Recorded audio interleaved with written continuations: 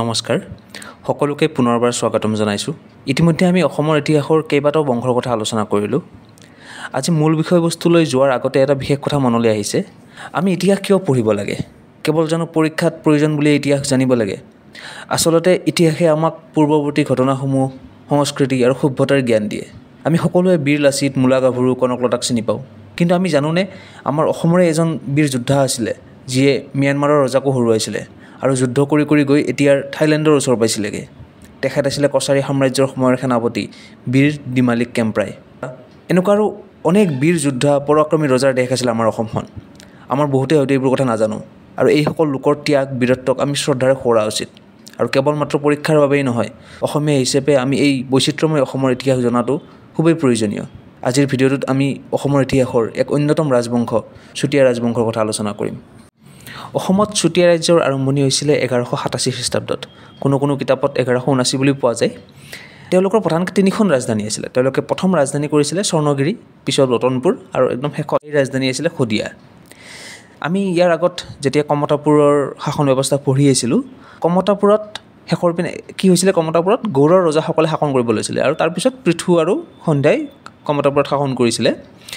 এই যেতিয়া সেইখিনি সময়ত লাহে লাহে কি হৈছিলে কমতাপুৰৰ শাসন ব্যৱস্থাত অলপ দুৰ্বল হ'ব আৰম্ভ হৈছিলে। আৰু সেই সময়খিনিতেই আৰু এইফালে আহোমসকলৰ আৰম্ভণি হোৱাৰ আগত আহোম ৰজাসকল আৰম্ভণি হোৱাৰ প্ৰায় চল্লিছ বছৰমান আগত বীৰপালে এই সোৱণশিৰি নদীৰ যি উৎপত উৎপত্তি উৎস ঠাই এই স্বৰ্ণগিৰি পাহাৰত তাক কেন্দ্ৰ কৰি কিনে এখন ৰাজ্য বনাইছিলে আৰু চুতীয়া ৰাজ্যৰ নাম দিছিলে। তেওঁৰ ৰাজ্যখনত উত্তৰ পূব অসম আৰু অৰুণাচলৰ কিছু কিছু অংশ আছিলে। আৰু পিছত তেওঁৰ পুত্ৰ গৌৰী নাৰায়ণ আছিলে যিয়ে গোটেই চুতীয়া মানুহখিনি যিখিনি মানুহ আছে সেই এৰিয়াত সেই সকলোকে লৈ মেলি এখন বৃহৎ চুতীয়া ৰাজ্য এখন বনাইছিলে। তেওঁৰ তেওঁৰ সময়ত একদম বিশ্বনাথ চাৰিআলিৰ পৰা অৰুণাচলৰ ওচৰলৈকে মানে অৰুণাচলৰ কিছু কিছু অংশ তেওঁৰ অধীনত আছিলে। আৰু এই গৌৰীনাৰায়ণেই আছিলে চুতীয়াসকলৰ আটাইতকৈ শ্ৰেষ্ঠ ৰজা। আৰু এইটো কোৱা হয় যে মধ্যযুগত যিখিনি অসমৰ ওচৰে পাঁজৰে যিখিনি ৰাজবংশ আছিলে যি ৰজাসকল আছিলে তাৰ ভিতৰত আটাইতকৈ উন্নত আৰু একদম প্ৰগতিশীল ৰাজ্য আছিলে এই চুতীয়াসকল। আৰু এই চুতীয়াসকলে তেওঁলোকে ব্যৱহাৰ কৰিছিলে তিব্বত বাৰ্মিজ ভাষা। তেওঁলোকৰ যিটো ভাষা ব্যৱহাৰ কৰিছিলে তিব্বত বাৰ্মিজ আৰু কালক্ৰমত গৈ গৈ তেওঁলোকে অসমীয়া ভাষাই ব্যৱহাৰ কৰিছিলে। কিন্তু প্ৰথমতে তেওঁলোকৰ ভাষাটো তিব্বত বাৰ্মিজ ভাষা আছিলে আৰু এই ভাষাটো অকল বড়ো ভাষাৰ লগত মিল আছে।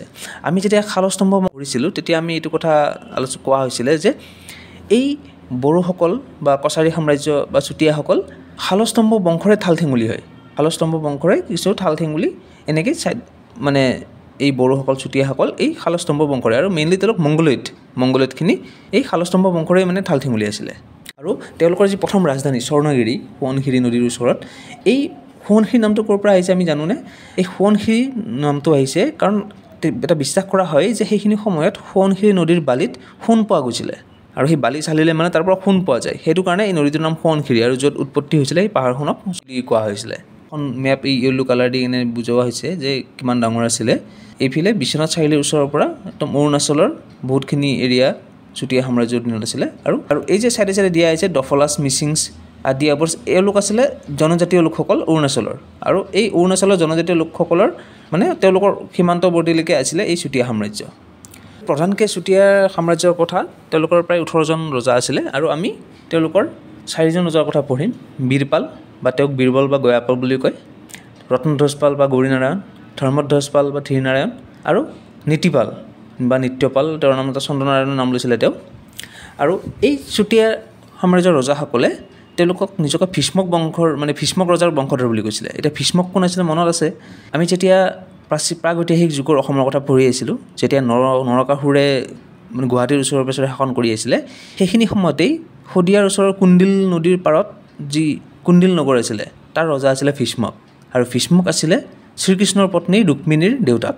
এই ভীষ্মক ৰজাৰে বংশধৰ বুলি এই চুতীয়া সাম্ৰাজ্যৰ ৰজাসকলে নিজকে কৈছে তেওঁলোক ভীষ্মক ৰজাৰ বংশধৰ বুলি। তেওঁলোকৰ উপাস্য দেৱতা আছিলে কেঁচাই হাতী গোসানী। তেওঁলোক ঘোৰ শাক্তধৰ্মী আছিলে। শাক্ত মানে যিসকলে দেৱী পূজা কৰে। আৰু এই তাম্ৰেশ্বৰী মন্দিৰ এটা মন্দিৰ বনাই তাত তাত নৰবলি দিয়া হৈছিল বুলিও কয়। আৰু পিছত এই প্ৰথাটো বন্ধ হৈছিলে। আহোম ৰজা গৌৰীনাথ সিঙৰ দিনৰ পৰা এই নৰবলি প্ৰথাটো বন্ধ হৈছিলে। আৰু এই চুতীয়াসকলৰ যি পুৰোহিত আছিলে এই পুৰোহিত আছিলে দেউৰীসকল। এই যে দেউৰী জাতি বুলি দেউৰীসকল আমি পিছত পঢ়িম দেউৰীসকলৰ কথা। এই দেউৰীসকল আছিলে চুতীয়া সাম্ৰাজ্যৰ সময়ত পুৰোহিত। তেওঁলোকৰ এই মন্দিৰত পুৰোহিত আছিলে দেউৰীসকল। যদিও আমি টাইম লাইনত কৈছোঁ এঘাৰশ সাতাশীৰ পৰা পোন্ধৰশ চৌব্বিছ চনলৈকে চুতীয়া সাম্ৰাজ্য আছিল বুলি কিন্তু প্ৰাচীন কামৰূপৰ সময়ৰ পৰাই এই চুতীয়া সাম্ৰাজ্যৰ কথা গম পোৱা যায় অনুমান কৰিব পাৰি। পাল বংশৰ ৰজা ৰত্নপাল আমি পাল বংশ পঢ়োঁতে পাইছিলোঁ তেওঁৰ ৰত্নপালৰ কথা। ৰত্নপালৰ পুত্ৰ পুৰন্দৰ পালে কি কৰিছিলে? কুণ্ডিল ৰাজ্যৰ ৰাজকুমাৰীক বিয়া পাতিছিলে। এই যে কুণ্ডিল ৰাজ্য মানে ভীষ্মক ৰজাৰ সময়ৰ পৰাই যি কুণ্ডিল ৰাজ্য আছিলে এই কুণ্ডিল ৰাজ্যসকনেই চুতীয়া সাম্ৰাজ্য বুলি ক'ব পাৰি। কাৰণ মানে তেতিয়া এই চুতীয়া শব্দৰ নামটো নাছিলে। তেওঁলোকে এই শব্দটো ব্যৱহাৰ নকৰিছিলে। মানে চুতীয়া তেওঁলোকৰ নিজক চুতীয়া বুলি কোৱা নাছিলে কাৰণে হয়তো আমি গম নাপাওঁ। কিন্তু অনুমান কৰিব পাৰি যে এই তেতিয়াৰ দিনৰ পৰাই মানে এই সাম্ৰাজ্যখন আছিলে। কিন্তু পিছত আমি এঘাৰশ সাতাশীৰ পৰা এটা প্ৰমাণ এটা পাওঁ। যে সাম্ৰাজ্যখন আছিলে বুলি। কিন্তু এই প্ৰাচীন কামৰূপৰ সময়ৰ পৰাই অনুমান কৰিব পাৰি এই চুতীয়া সাম্ৰাজ্য আছিলে বুলি। এতিয়া আমি চাইছোঁ চুতীয়া সাম্ৰাজ্যৰ যি প্ৰথমজন ৰজা বীৰপাল। বীৰপালৰ কথা অকণমান চাইছোঁ আমি। বীৰপালৰ পত্নী আছিলে ৰূপৱতী। আৰু তেওঁলোকে মানে বীৰপালে সপোনত পাইছিলে আৰু এখন ঢাল এখন তৰোৱাল এপাত জাঠি আৰু এটা সোণৰ মেকুৰী। আৰু এইখিনি কুবেৰত্ব সম্পত্তি বুলি কয়। মানে কুবেৰ ভগৱান যে কুবেৰৰ সম্পত্তি বুলি কৈছিলে আৰু। এইখিনি বস্তু তেওঁলোকে কি কৰিছিলে খুব ধুনীয়াকৈ মানে ৰাখি পূজা কৰিছিলে। আৰু এই বীৰপালে কৈছিলে যে কুবেৰৰ মানে হিন্দু দেৱতা যে কুবেৰ এই কুবেৰৰে মানে গোত্ৰৰ বুলি কৈছিলে তেওঁক। আৰু যেতিয়া বীৰপালে প্ৰথম মানে যেতিয়া শাসন কৰিব লৈছিলে যেতিয়া ৰাজ্যখন আৰম্ভ কৰিছিলে মাত্ৰ ষাঠিটা পৰিয়াল আছিলে। তেওঁ স্বৰ্ণগিৰি পাহাৰক এই কেন্দ্ৰ কৰি মানে যি ৰাজ্যখন আৰম্ভ কৰিছিলে মাত্ৰ ষাঠিটা পৰিয়াল আছিলে। আৰু কি কৰিছিলে লাহে লাহে তেওঁ ওচৰ চুবুৰীয়া যিবোৰ জনজাতীয় লোকসকল আছে তেওঁলোকক মানে তেওঁৰ অধীনত আনিছিলে। আৰু তেনেকৈ তেওঁ নামটো গয়াপাল নাম লৈছিলে। আৰু তাৰপিছত তেওঁৰ পুত্ৰ ৰত্নধ্বজ পাল ৰজা হৈছিলে গৌৰীনাৰায়ণৰ পিছত। আৰু ৰত্নধ্বজ পালে কি কৰিছিলে ওচৰ চুবুৰীয়া যিবোৰ পাহাৰীয়া অঞ্চল আছে এই গোটেই অঞ্চলখিনি নিজৰ অধীনত আনিছিলে। যেনে ৰাঙলুগুৰি কলাগিৰি নীলগিৰি ধৱলগিৰি চন্দ্ৰগিৰি এই গোটেই এৰিয়াবোৰ তেওঁ নিজৰ অধীনত আনিছিলে। এই গিৰি নামটো কিয় ইউজ কৰিছে কাৰণ গিৰি মানে কি হয় পাহাৰ। মানে এই এৰিয়াবোৰ কি আছিলে পাহাৰৰ দাঁতি কাষৰীয়া মানে পাহাৰৰ ঢলীয়া এই য'ত মানে মানুহবোৰ থাকে আৰু দাঁতি কাষৰীয়া এৰিয়াবিলাক এই এৰিয়াবিলাক আছিলে। আৰু এই এৰিয়াবোৰ ৰত্নধ্বজ পাল বা গৌৰীনাৰায়ণে নিজৰ অধীনত আনিছিলে। আৰু তেওঁৰ ওচৰৰ এখন ৰজা এজন আছিলে শ্বেতগিৰি বুলি ঠাই এটা আছিলে। এই শ্বেতগিৰি ৰজা আছিলে ভদ্ৰসেন আৰু ভদ্ৰসেনকো তেওঁ যুদ্ধত পৰাস্ত কৰিছিলে। আৰু তাৰপিছত কি কৰিছিলে এই শ্বেতগিৰি এৰিয়াটোৰ যিবোৰ তাঁতী মানুহ বা কমাৰ কুমাৰ সোণাৰ বা সোণাৰী সূতাৰ এনেকুৱা যিসকল মানে স্কিল্ড মানুহ যোনে মানে এনেকুৱা ধৰণৰ কামবোৰ কৰিব পাৰে এই স্কিল্ড যিবিলাক মানুহ আছিলে এই মানুহবিলাকক তেওঁ তাৰ পৰা লৈ আনিছিলে নিজৰ ৰাজ্যলৈ যাতে তেওঁৰ ৰাজ্যৰ মানে বিকাশ হ'ব পাৰে আৰু এই মানুহখিনিক তাৰ পৰা লৈ আনিছিলে। আৰু তেওঁ কি কৰিছিলে মাজুলীৰ ওচৰত মানে ৰত্ন ৰতনপুৰ ৰতনপুৰ মাজুলীৰ ওচৰত বুলি অনুমান কৰিব পাৰি এই ৰতনপুৰ ৰত্নপুৰত তেওঁ তেওঁ ৰাজধানীখন পাতিছিলে। প্ৰথম ৰাজধানী আছিলে স্বৰ্ণগিৰি তাৰপিছত তেওঁ কি কৰিছিলে ৰতনপুৰ বা ৰত্নপুৰত ৰাজধানী পাতিছিলে। আৰু এই ৰাজধানী পাতি তেওঁৰ নামটো ৰত্নধ্বজ পাল লৈছিলে। এই ৰত্নপুৰত যে ৰাজধানী পাতিলে তাৰপিছত তেওঁ তেওঁৰ নাম ৰত্নধ্বজ পাল লৈছিলে। আৰু সেইখিনি সময়ত তেওঁৰ চুবুৰীয়া ৰজা আছিল ন্যায়পাল ন্যায়পালকো তেওঁ হৰুৱাই মেলি তেওঁৰ ৰাজ্যখনো নিজৰ অধীনত আনিছিলে আৰু তেওঁ গোটেই যিমান চুতীয়া মানুহ আছে সেই এৰিয়াটোত চবকে লগত লৈ মেলি এখন বৃহৎ চুতীয়া ৰাজ্য নিৰ্মাণ কৰিছিলে। আৰু আৰু এটা বস্তু তেওঁৰ সময় তেওঁ কি কৰিছিলে? দুৰ্গ নিৰ্মাণ কৰিছিলে। তেওঁৰ ৰাজধানীৰ চাৰিওফালে দুৰ্গ নিৰ্মাণ কৰিছিলে। যাতে তেওঁ এই ওচৰ চুবুৰীয়া যিবিলাক অৰুণাচলৰ জনজাতীয় লোক আছে লোক আছে তেওঁলোকৰ পৰা যাতে বাচি থাকিব পাৰে তেওঁলোকে যাতে এটেক কৰিব নোৱাৰে আহি সেইবুলি তেওঁ ৰাজধানীখন দুৰ্গ হিচাপে নিৰ্মাণ কৰিছিলে। আৰু সেইখিনি সময়ত কমতপুৰত ৰজা আছিলে সন্ধ্যা আৰু গৌৰত ৰজা আছিলে কেশৱখেন এই সন্ধ্যা আৰু কেশৱখেনৰ লগত তেওঁৰ ভাল সম্পৰ্ক এটা আছিলে। তেওঁ এটা সম্পৰ্ক বজাই ৰাখিছিলে সন্ধ্যা আৰু গৌৰৱ মানে কেশৱখেনৰ লগত। যে কমতাপুৰৰ ৰজা আছিলে সন্ধ্যা সন্ধ্যাৰ জীয়াৰীক বিয়া কৰাইছিলে ৰতনধ্বজ পালৰ পুত্ৰ বিজয়ধ্বজে। আৰু কেশৱখেনৰ লগত এটা ভাল সম্পৰ্ক আছিলে। কেশৱখেনে কি কৰিছিলে? ৰত্নধ্বজ পালক গংগাৰ পানী গংগাৰ পানী পবিত্ৰ আমি গম পাওঁ গংগাৰ পানী দিছিলে। আৰু ৰতনধ্বজ পালে কি কৰিছিলে আমাৰ যি পৰশুৰাম কুণ্ড পৰশুৰাম কুণ্ডৰ যি পবিত্ৰ পানী সেয়া পঠাইছিলে কেশৱখেনৰ ওচৰলৈকে। আৰু এই ৰত্নধ্বজ পালৰে এজন ৰাজকোঁৱৰ এজন আছিলে তেওঁক গৌৰ দেশত পঠাইছিলে অধ্যয়নৰ কাৰণে। মানে হায়াৰ ষ্টাডিজৰ কাৰণে যেনেকৈ আমাৰ মানুহবোৰ বাহিৰলৈ যায় তেনেকৈ এই ৰাজকোঁৱৰজনক গৌৰ দেশলৈকে পঠাইছিলে হায়াৰ ষ্টাডিজৰ কাৰণে। কিন্তু তাত পঢ়ি থকাৰ সময়তেই এই ৰাজকোঁৱৰজনৰ মৃত্যু হৈছিলে। কিবা বেমাৰ আজাৰ হৈ তেওঁ তাতে মৃত্যু হৈছিলে আৰু গৌৰ দেশৰ ৰজাই কি কৰিছিলে ৰাজকোঁৱৰজনৰ যি মানে শটো মানে ডেড বডিটো পঠাই দিছিলে চুতীয়া ইয়াৰ ৰজালৈকে। আৰু যিটো সময়ত মানে এই তেওঁৰ শটো লৈ আহিছিলে সেইখিনি সময়ত ৰত্নধ্বজ পালে কি কৰিছিলে এখন নতুন নগৰ এখন নিৰ্মাণ কৰি আহিছিলে তেওঁ মানে কুণ্ডিল নগৰৰ ওচৰত সিন্ধু ক্ষেত্ৰ বুলি এখন নতুনকৈ এখন নগৰ নিৰ্মাণ কৰিছিলে মানে তাত ৰাজধানীখন বনোৱাৰ কথা তো তেওঁ এখন নতুন নগৰ নিৰ্মাণ কৰি আছিলে। আৰু যেতিয়া নগৰ নিৰ্মাণত ব্যস্ত হৈছিলে সেইখিনি সময়তেই এই ৰাজকোঁৱৰজনৰ মানে মৰা শটো আহি পালে মানে শটো আহি পালে। আৰু তেতিয়াহ'লে তেতিয়া কি কৰিলে এই নগৰখনতেই মানে তেওঁক সমাধি দিয়া হ'ল। মানে তাতে সৎকাৰ কৰা হ'ল। আৰু যিহেতু তাত সৎকাৰ কৰা হৈছিলে সেইটো কাৰণে সেই নগৰখনৰ নাম সিন্ধু ক্ষেত্ৰ নিদি শদিয়া হ'ল মানে। এই শদিয়া নামটো যে আমাৰ শদিয়া নগৰ এই শদিয়া নামটো তাৰ পৰাই আহিলে। সিন্ধু ক্ষেত্ৰ আছিলে তাৰপিছত শদিয়া নগৰ হ'ল। তাক সদয়াপুৰ বুলি কোৱা হয়।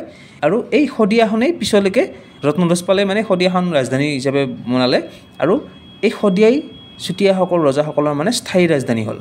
এতিয়া আমি ইয়াত ৰজাসকলৰ নামবোৰ দিছোঁ। যদিও গোটেইখিনি ইম্পৰ্টেণ্ট নহয় কেইজনমান ৰজাক আমাৰ অলপ ইম্পৰ্টেণ্ট আছে। প্ৰথম আছিলে বীৰপাল ইয়াত টাইম লাইনটো দিয়া হৈছে আপোনালোকে চাই ল'ব। বীৰপাল ৰত্নধ্বজ পাল বিজয়ধ্বজ পাল বিক্ৰম ধ্বজ পাল গৌৰৱধ্বজ পাল শংকৰধ্বজ পাল এটা লক্ষ্য কৰা যায় যে এই ৰজাসকলে মানে তেওঁলোকৰ উপাধিত পাল শব্দটো ব্যৱহাৰ কৰিছিলে। কৰ্মধ্বজ পাল সত্যনাৰায়ণ। এই কৰ্মধ্বজ পালৰ সময়তে কি হৈছিলে? আহোম আৰু আহোমৰ লগত মানে প্ৰথম কনফ্লিক্টটো আৰম্ভ হৈছিলে মানে। আহোমৰ লগত প্ৰথম যুদ্ধটো হৈছিলে। তাৰপিছত সত্যনাৰায়ণৰ সময়তো এটা যুদ্ধ এটা হৈছিলে। তাৰপিছত লক্ষীনাৰায়ণ দুৰ্লভ নাৰায়ণ মুক্ত প্ৰত্যক্ষ নাৰায়ণ ত্ৰিয়স নাৰায়ণ পুৰন্দৰ পাল ধৰ্মধ্বজ পাল আৰু নীতিপাল। আৰু এই ধৰ্মধ্বজ পাল আছিলে সাধনীৰ দেউতাক। সতী সাধনী এই সতী সাধনীৰ দেউতাক আছিলে ধৰ্মধ্বজ পাল। তেওঁৰ সময়ত চুহুংমুঙৰ লগত যুদ্ধ হৈছিলে আৰু চুহুংমুঙক ধৰ্মধ্বজ পালে যুদ্ধত হৰুৱাইছিলে। আৰু শেষৰজন ৰজা আছিলে নীতিপাল। এতিয়া চুহুংমুং এজন আহোমৰ মানে প্ৰবল প্ৰতাপী এজন ৰজা। চুহুংমুঙক হৰুৱা মানেও মানে এই ধৰ্মধ্বজ পাল বহুত এজন ভাল যোদ্ধাই আছিলে। কাৰণ চুহুংমুঙক হৰুৱাও মানে এটা বহুত ডাঙৰ কথা। কাৰণ সেইখিনি সময়ত চুহুংমুঙে বহুত এৰিয়া দখল কৰিছিলে তেওঁৰ অন্তৰত আনিছিলে আৰু শেষৰজন ৰজা নীতিপালক চুহুংমুঙৰ সময়তেই তেওঁক মাৰি মেলি এই চুতীয়া সাম্ৰাজ্যখন আহোমসকলে নিজৰ অধীনত আনিছিলে। এতিয়া আমি চাইছোঁ আহোম আৰু চুতীয়াসকলৰ যি যুদ্ধ হৈছিলে তাৰ কথা এই আমি যে পাইছিলোঁ এই নন্দীশ্বৰ বা নন্দীশ্বৰ তেওঁ একচুৱেলি নাম কৰ্মধ্বজ পাল আৰু তেওঁক নন্দীধ্বজ বুলিও কোৱা হয়। এই যে কৰ্মধ্বজ পাল আছিলে কৰ্মধ্বজ পাল আহোম ৰজা চুতুফাৰ ভাল বন্ধু আছিলে তেওঁৰ লগত ভাল এটা মিত্ৰতা এটা আছিলে। আৰু এবাৰ নাও খেল পতাৰ মানে নাও খেল পাতিছিলে এই নাও খেলত কি কৰিছিলে কৰ্মধ্বজ পালে চুতুফাক মাতি আনিছিলে। আৰু বহুতে কয় যে তেওঁ নাও খেলৰ সময়ত চক্ৰান্ত কৰি হত্যা কৰিছিলে। আৰু কিন্তু ক'ৰবাত ক'ৰবাত এনেকৈও পোৱা যায় একচুৱেলি চক্ৰান্ত কৰি হত্যা কৰা নাছিলে তেওঁ এই নাও খেলৰ সময়তেই নাও ডুব গৈ কিনে তেওঁৰ মৃত্যু হৈছিলে। যাকে নহওক বাৰু এইটো আমি এতিয়া ক'ৰবাত ক'ৰবাত চক্ৰান্ত কৰি হত্যা কৰা বুলি কয় আৰু ক'ৰবাত তেওঁক তাত মৃত্যু হোৱা বুলি কয়। এতিয়া এটা প্ৰশ্ন আহিব পাৰে যে চুতুফাক কোনজন চুতীয়া ৰজাই নাওখালৰ কাৰণে আমন্ত্ৰণ আমন্ত্ৰণ কৰিছিলে তো এনচাৰটো হ'ব নন্দীশ্বৰ বা কৰ্মধ্বজ পাল। তাৰপিছত যেতিয়া তেওঁৰ তেৰশ চৌসত্তৰ চনত মৃত্যু হ'ল চুতুফাৰ তাৰপিছত কিছু বছৰলৈকে মানে আহোমত কোনো ৰজা নাছিলে কাৰণ মানে অলপ খেলি মেলি এটা হৈ গ'ল। আৰু তাৰপিছত তেওঁৰ উত্তৰাধিকাৰী আছিলে টাও খামথি। আৰু এই টাও খামথি কি কৰিছিলে? এটেক কৰিছিলে চুতীয়া সাম্ৰাজ্যক। আৰু যে এই চক্ৰান্ত কৰি হত্যা কৰা কথাটো মানে কাৰণ এইটো এনেকৈ ক'ব পাৰি কাৰণ চক্ৰান্ত কৰি হয়তো হত্যা কৰা হোৱা নাছিলে। কাৰণ যদি চক্ৰান্ত কৰি হত্যা কৰিলে হয় চুতীয়া সাম্ৰাজ্যই আহোমৰ এটা এৰিয়া দখল কৰিবলৈ চেষ্টা কৰিলে হয়। কিন্তু কোনো ধৰণৰ এৰিয়া দখল কৰিবলৈ চেষ্টা কৰা নাছিলে। তো এইটো ফালৰ পৰা ক'ব পাৰি যে তেওঁ হত্যা কৰা নাছিলে তেওঁৰ মৃত্যু হৈছিলে তাত। ধৰ্মধ্বজ পালে কি কৰিছিলে? মানে এই চুটুপাই যেতিয়া চুটুপাৰ উত্তৰ টাও খামঠি যেতিয়া আক্ৰমণ কৰিছিলে এটা এৰিয়াটো তেওঁলোকৰ অধীনত লৈ গৈছিলে। তাৰপিছত ধৰ্মধ্বজ পালে কি কৰিছিলে? আহোম ৰাজ্য পোন্ধৰশ তেৰ খ্ৰীষ্টাব্দত। আৰু এই যুদ্ধখনত তেওঁ বিফল হৈছিলে মানে হৰুৱাব পৰা নাছিলে। তাৰপিছত পোন্ধৰশ বিছ চনত দিহিংমুখৰ প্ৰথম যুদ্ধ হৈছিলে। দিহিংমুখত দুখন যুদ্ধ হৈছিলে। প্ৰথম যুদ্ধখন হৈছিলে পোন্ধৰশ বিছ চনত। আৰু এই যুদ্ধখনত কি কৰিছিলে? ধৰ্মধ্বজ পালে চুহুংমুখৰ সৈন্যক হৰুৱাইছিলে। আৰু দিহিংমুখ কোটটো চুতীয়া ৰজাসকলৰ অধীনত গৈছিলে। তাৰপিছত পোন্ধৰশ বাইছত বাইছ মানে ধৰ্মধ্বজ পালৰ কোনো মানে ল'ৰা ছোৱালী নাছিলে আৰু তেওঁ বহুত মানে সাধনা কৰি মেলি বহুত পূজা পাতল কৰি মেলি ছোৱালী কন্যা সন্তান এটা জন্ম হৈছিলে আৰু তাৰ বাবে কন্যা সন্তানৰ নাম দিছিলে সাধনী। সাধনা কৰি মেলি পাইছিলে এইটো কাৰণে সাধনী নাম দিছিলে। আৰু এই সাধনী বিয়া হৈছিলে নিতাই বা তেওঁক পিছত নীতিপাল বুলি তেওঁৰ নাম লৈ ৰজা হৈছিলে। এই নিতাই বা নীতিপাল যেতিয়া ৰজা হৈছিলে পোন্ধৰশ বাইছ খ্ৰীষ্টাব্দত দিহিংমুখৰ ছেকেণ্ড দ্বিতীয়খন ৰণ হৈছিলে আৰু এই ৰণখনত নীতিপাল হাৰিছিলে। মানে আকৌ আকৌ এই দিহিংমুখৰ যিটো এৰিয়া চুতীয়াসকলে নিজৰ আনিছিলে আকৌ নীতিপালৰ পৰা তেওঁ লৈ গ'ল। কাৰণ নীতিপাল ৰজাবংশীয় মানুহ নাছিলে। তেওঁৰ শাসন ব্যৱস্থা ইমান ষ্ট্ৰং নাছিল। তেওঁৰ শাসন ব্যৱস্থা দুৰ্বল আছিলে। যিহেতু ধৰ্মধ্বজ পালৰ ল'ৰা নাছিলে সেইটো কাৰণে নীতিপাল ৰজা হৈছিলে। কিন্তু নীতিপাল ৰজা হোৱাৰ পিছত ধৰ্মধ্বজ পালৰ পুত্ৰ সন্তান এটা জন্ম পাইছিলে। সাধক নাৰায়ণ নাম দিছিলে তেওঁৰ। তাৰপিছত পোন্ধৰশ চৌব্বিছ খ্ৰীষ্টাব্দত শদিয়াত এখন ৰণ হৈছিলে। সেইদিনা আছিলে বহাগ বিহুৰ প্ৰথম দিন মানে। বহাগ বিহুৰ দিনা কি হয় তাত যেতিয়া তেওঁ বিহু এইবোৰ উৎসৱ পাৰ্বণ কৰি থাকে তেতিয়া তেওঁলোকে কোনো অস্ত্ৰ শস্ত্ৰ লগত নাৰাখে। এই চুতীয়া এটা নিয়ম এটা তেওঁলোকৰ আৰু এই বিহুৰ দিনা তেওঁলোকে কোনো অস্ত্ৰ শস্ত্ৰ নাথাকে নাৰাখে মানে। পূজা পাতল মানে যিহেতু মন্দিৰত কিবা কিবি হৈ থাকে তেওঁ অস্ত্ৰ শস্ত্ৰ লগত নাৰাখে। কেৱল যিসকলে মানে এই বলি বিধানত মানে যি পুৰোহিতে যি বলি দিয়ে তেওঁহে অকল অস্ত্ৰটো ৰাখে লগত বাকী কোনেও অস্ত্ৰ শস্ত্ৰ নাৰাখে। আৰু এই এইটো কথাতে সুযোগ লৈ কি কৰিছিলে আহোমসকলে আক্ৰমণ কৰিছিলে। আৰু এই আক্ৰমণত চুতীয়াখিনি মানে চিডিলি বিদিলি হৈ গ'ল। আৰু উপায়ন্তৰ হৈ মেলি কি হ'ল নীতিপাল আৰু তেওঁৰ পুত্ৰ মানে পলাবলৈ মানে বাধ্য হ'ল। আৰু পলাই গৈ মানে তেওঁলোকৰ গৈছিলে চন্দনগিৰি আৰু দৈয়াং পৰ্বতৰ পিনে তেওঁ পলাই গ'ল। আৰু তাৰপিছত আহোম সৈন্যই গৈ মেলি এই চন্দনগিৰি আৰু দৈয়াং পৰ্বতত মানে শেষৰখন ৰণ হৈছিলে মানে। আহোম আৰু চুতীয়াৰ শেষৰখন ৰণ হৈছিলে চন্দনগিৰি আৰু দৈয়াং পৰ্বত। আৰু সেই ৰণত কি হৈছিলে মানে পুত্ৰসহ নীতিপালক এই চুহুংমুঙৰ সেনাই হত্যা কৰিলে। আৰু হত্যা কৰি মেলি কি কৰিলে? এই চুতীয়া সাম্ৰাজ্যখন তেওঁলোকৰ অধীনত আনিলে মানে আহোমসকলৰ অধীনত আনিলে। আৰু সেই ৰণখনতে কি হৈছিলে? যেতিয়া মানে নীতিপাল আৰু পুত্ৰৰ মৃত্যু হ'ল সাধনীয়ে কি কৰিলে? তেওঁৰ মানে সাধনীয়ে কি কৰিছিলে? মহিলাখিনিক লগত লৈ মেলি মানে এটা মহিলা সৈন্যৰ দলে গৈ এই চন্দনগিৰি পাহাৰত মানে যুদ্ধ কৰিছিলে গৈ আৰু বহুত পৰাক্ৰমেৰে মানে তেওঁ যুদ্ধ কৰিছিলে। আৰু এই যুদ্ধৰ শেষত যেতিয়া তেওঁ হাৰিলে মানে যুদ্ধত শেষত কি কৰিছিলে? চন মানে যুদ্ধৰ শেষত তেওঁ চন্দনগিৰি পাহাৰৰ পৰা জঁপিয়াই মেলি আত্মহত্যা কৰিছিলে। আৰু এই সাধনীৰ এই সাধনীৰ মানে ত্যাগ আৰু বীৰত্বৰ কথা আমাৰ অসমে চিৰদিন সুঁৱৰি থাকিব। আৰু তেওঁৰ এই বীৰত্বৰ প্ৰতীক হিচাপেই মানে প্ৰতি বছৰে একৈছ এপ্ৰিলৰ দিনা সতী সাধিনী দিৱস হিচাপে পালন কৰা হয়। এইটো প্ৰশ্ন আহে সতী সাধিনী দিৱস কেতিয়া হয়? একৈছ এপ্ৰিলৰ দিনা। এতিয়া এই চুতীয়াসকল যুদ্ধত বিৰাট পাকৈতাইছিলে এই সাৰ বাৰুদ শিলৈ বৰটোপ এইবোৰ তেওঁলোকে ব্যৱহাৰ কৰিছিলে আৰু আহোমসকলেও তেওঁলোকৰ পৰাই এইটো বস্তু শিকিছিলে। তাৰ আগত আহোমসকলে ইউজ নকৰিছিলে এইবোৰ। এই চুতীয়াসকলৰ পৰাই শিকিছিলে যে সাৰ বাৰুদ বৰটোপ এইবোৰ ইউজ কৰা। এতিয়া তাৰপিছত যেতিয়া শদিয়াত তেওঁলোকে মানে মাৰি মেলি মানে ৰজাক মাৰি মেলি গোটেই শদি এৰিয়াটো দখল কৰিলে চুতীয়াসকল তেওঁলোক চুতীয়া সাম্ৰাজ্যখন তেওঁলোকৰ দিনত আনিলে তাৰপিছত তেওঁ কি কৰিছিলে তেওঁলোকে তাতে এটা শদিয়া খোৱাই গোহাঁই বুলি এটা পদবী আহোম ৰজাসকলে শদিয়া খোৱা গোহাঁই। এইটো মনত ৰাখিবলগীয়া শদিয়া খোৱা গোহাঁই। এনেকুৱা এটা পদবী এটা তেওঁলোকে সৃষ্টি কৰিলে আৰু এই পদবী সৃষ্টি কৰি কি কৰিলে? এই শদিয়াত তেওঁক মানে শাসনভাৰ দিলে মানে সেই এৰিয়াটো তেওঁক চোৱা চিতা কৰিব দিলে শদিয়া খোৱা গোহাঁইক। আৰু এই যে ধৰ্মধ্বজ পালৰ যি মানে পুত্ৰ এজন জন্ম পাইছিলে কৈছিলোঁ সাধক নাৰায়ণ সাধক নাৰায়ণক কি কৰিলে? ৰৌতাৰ ওচৰত মানে এটা এৰিয়া দিলে আৰু জমিদাৰী হিচাপে তেওঁক শাসন কৰিব দিলে মানে সেই এৰিয়াটো। আৰু তেওঁক মানে মেইন জেগাৰ পৰা মানে বহুতখিনি দূৰলৈকে পঠাই দিলে যাতে পিছত আকৌ এটেক কৰিব নোৱাৰে। আহোম সাম্ৰাজ্যক যাতে মানে আহোম ৰজাসকল যাতে এটেক কৰিব নোৱাৰে। সেইটো হিচাপে তেওঁক মানে কি কৰিলে এই ৰৌতাৰ ওচৰত এটা এৰিয়া দি দিলে আৰু। সৰুকৈ এৰিয়া দি মানে জমিদাৰী হিচাপে দি দিলে সৰু এৰিয়া এটা। আৰু এনেকেই মানে আহোম সাম্ৰাজ্যৰ মানে চুতীয়া সাম্ৰাজ্যৰ পতন হৈছিলে। আৰু যদিও এইখন শেষৰ ৰণ বুলি কোৱা গৈছে শদিয়াৰ ৰণখন তাৰ পিছতো কিন্তু আৰু বহুতবাৰ এনেকুৱা সৰু সৰু কনফ্লিক্ট হৈছিলে। মানে এই মোৱামিৰীয়া বিদ্ৰোহ বা কিবা আমি পিছত পাম। আহোম সাম্ৰাজ্যৰ কথা পঢ়িলে আমি পাম। এনেকুৱা ধৰণৰ কিছুমান বিদ্ৰোহ হৈ আছিলে। তো এনেকেই আমি পালোঁ আমি চুতীয়া সাম্ৰাজ্য কেনেকৈ পতন হ'ল আমি গম পালোঁ। এতিয়া এই চুতীয়া সাম্ৰাজ্যৰ বহুত স্থাপত্য ভাস্কৰ্য দেখিবলৈ পোৱা যায়। এই যে ইটানগৰ ইটানগৰত এটা ইটা ফৰ্ট বুলি এটা এৰিয়া এটা আছে। এই ইটা ফৰ্টৰ পৰাই মানে মানে ইটাৰে বনোৱা এটা স্থাপত্য ভাস্কৰ্যৰ মানে ভগ্নাৱশেষ কিছুমান আছে। সেই ইটা ফৰ্টৰ পৰাই নামটো ইটানগৰ হৈছিলে। তাৰপিছত শদিয়াৰ ওচৰৰ ভীষ্মক নগৰত মানে এনেকৈ ইটাৰ কিছুমান ভগ্নাৱশেষ পোৱা যায়। তাৰপিছত ঢকুৱাখানাত থকা বাসুদেৱ থান চুতীয়া সাম্ৰাজ্যৰ সময়ৰে মানে ৰজাসকলে বনোৱা হয়। তাৰপিছত অৰুণাচলত মানিলী থান বুলি এটা ঠাই এটা আছে তাত কিছুমান ভগ্নাৱশেষ পোৱা যায় স্থাপত্য ভাস্কৰ্য কিছুমান পোৱা যায় এই চুতীয়া সাম্ৰাজ্যৰ ৰজাসকলৰে। তাৰপিছত শদিয়াত বুঢ়া বুঢ়ী টেম্পল এই য'ত এই বলি দিয়া হৈছিলে মানে তেনেকৈ চাৰিখন থান আছিলে মানে তাৰ ভিতৰত এটা বুঢ়া বুঢ়ী টেম্পল আছিলে তাম্ৰেশ্বৰী মন্দিৰো আছিলে। আৰু এই তাম্ৰেশ্বৰী মন্দিৰটো কি হৈছিলে তাত দেৱীক তামেৰে নিৰ্মাণ কৰিছিলে। তামেৰে নিৰ্মাণ কৰি দেৱীক তাত প্ৰতিষ্ঠা কৰিছিলে কেঁচাই হাতী গোসানীক এই তাৰ পৰাই নাম নামটো তাম্ৰেশ্বৰী হৈছিলে কাৰণ তামেৰে বনাইছিলে কাৰণে এই দেৱীক তাম্ৰেশ্বৰী দেৱী বা কেঁচাই ঘাটী গোসানী বুলি কয়। তাৰপিছত এই ডেৰগাঁৱৰ ওচৰত এটা ভগ্নাৱশেষ এটা পোৱা যায় দেওপাহাৰ এইখিনিও এই চুতীয়া সাম্ৰাজ্যৰ ৰজাসকলৰ বুলি ক'ব পাৰি কাৰণ এই ভগ্নাৱশেষৰ ওচৰতেই চুতীয়া ৰজা এজনৰ মৈদাম পোৱা যায় এই দেওপাহাৰ যি ভগ্নাৱশেষ। তো ইমানখিনিয়ে আছিলে চুতীয়া সাম্ৰাজ্যৰ কথা। আশা কৰোঁ আপোনালোকে ভিডিঅ'বোৰ ভাল পাইছে। যদি ভিডিঅ'বোৰে আপোনাক কিবা সহায় কৰে বুলি ভাবে আমাৰ চেনেলটো ছাবস্ক্ৰাইব কৰি দিব। আৰু আপোনাৰ বন্ধু লগ বন্ধুৰ মাজত এই ভিডিঅ'বোৰ শ্বেয়াৰ কৰি দিব তেওঁলোকৰো সুবিধা হ'ব।